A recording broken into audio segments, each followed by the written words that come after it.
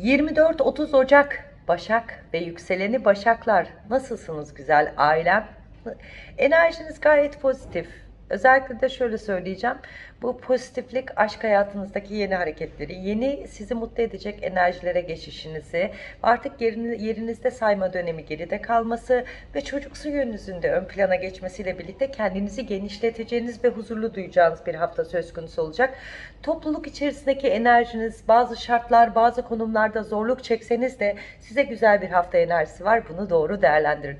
24 Mars 24 Ocak'ta Mars Oğlak Burcu'na geçişiyle birlikte iş konularınızla ilgili yenilikler, yeni oluşumlar ve doğru ve sağlam iş anlaşmalarına geçiş sağlayacaksınız. Hatta yeni bir beklediğiniz anlaşma, yeni yollar, yeni iş kapılarınız için fırsatlar size olumluluk gösteriyor. Hatta yer değişiminiz, muhasebeciyseniz yer değişiminiz gerçekleşecek. Kendi işinizi yapıyorsanız farklı noktada beklenmedik teklifler size olumlu süreçte. Eğer işsizseniz bile bu kapılar için güzel fırsatların enerjisi ve bu topluluk ve kalabalık bir ortamda çalışmanın keyfi size daha keyif verecek diyorum.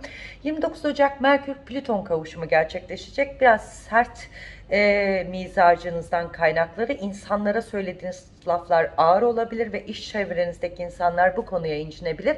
Bunları toparlamamız gerekiyor. Hatta ve hatta patronlarınızı, yöneticilerinizi eleştirebilir. Onlarla ters düşebilir ve bunlar sizi yanlış anlamalarınıza, yanlış anlaşılmalara sebep olabilir. İşinize zarar getirebilirsiniz. Aynı gün içerisinde Venüs e, Oğlak Burcu ileri hareketini gerçekleştiriyor. Bu da size aşkla birlikte bütünleşmenin ve parasal evredeki yaşadığınız bazı krizleri toparlamanız için çok uygun bir haftayı temsil ediyor. Evet iş iadeleriniz, beklediğiniz konular, beklediğiniz evraklarınızla ilgili hem olumlu hem doğru yönettiğiniz takdirde başarı ve parasal evrede de güçlenmeyi temsil ediyor.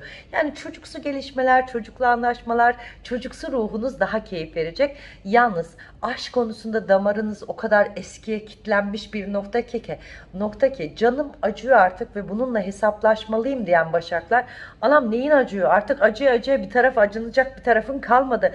Yeni aşklara yeni heyecan haftanı var. Venüs ileri hareket ediyor. Hadi aşk sana dokunsun. Hadi sevgiyi kabul et. Yeni aşka adapte olman gerekiyor. Lütfen eskileri geride bırakalım. E, kendi işinizi yapıyorsanız bu konuda gerçekten medya sektörü güzel e, çalışmalarınız varsa işinizde yıldızınızın parlayacağı ve kendinizi daha ispatlayacağınız noktalarınız söz konusu. Bence bu gücü aşktan çok işe verirseniz kazanç ve parasal evrenizde söz konusu olacak.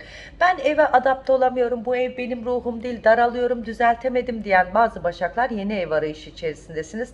Aslında yer güzel, sizin ruhunuz oraya geç alışacak ama bu eve alıştığınızda da bu evi satın almak almak isteyeceğiniz kadar da güzel enerjiler gözüküyor.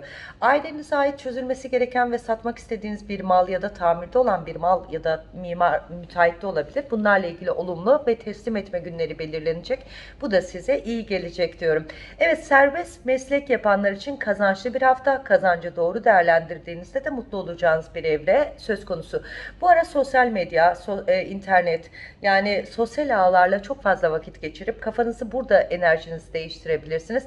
Bence spor, yoga, meditasyon, yoga, meditasyon size daha iyi gelecek. Bu ara inanç felsefenizde çok e, kuvvetli olacak. Rabbime olan dualarınızın açık olacağı bir döngü haftası. Bence bunu doğru değerlendirin diyorum. E, Venüs'ün size parasal evrede dokunacağı noktaları da değerlendirdiğimizde doğru bir hafta. İş bekleyenler için doğru, kazançlı ve verimli. Yalnız e, yurt dışına yerleşmek, yurt dışı planı içerisindesiniz değerli başaklar. Bunun başvurusunu yapın. Şans kapınız var diyorum. Evet gençler bu ara dağınık değildiniz. Eğitiminizde de gayet hatalarınızı biliyorsunuz ve bunların altyapısını da oturttunuz. 3 tane zayıf notlarınız var. Bunları düzeltmeniz lazım.